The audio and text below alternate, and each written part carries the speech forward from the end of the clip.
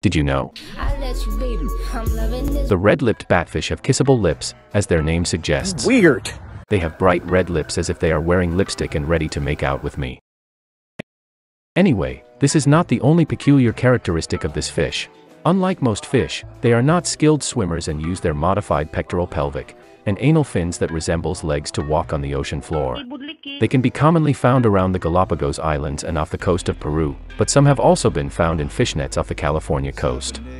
These fish can grow up to 40 centimeters or 16 inches in length and have a light brown body with a grayish back. Similar to the angler fish, the red-lipped batfish riz its prey by using a glowing lure called esca, and feeds on smaller fish, small invertebrates, and mollusks. Despite being small and bad swimmers but a good kisser, they have no known direct predators, which may be due to their preference for dwelling on the ocean floor.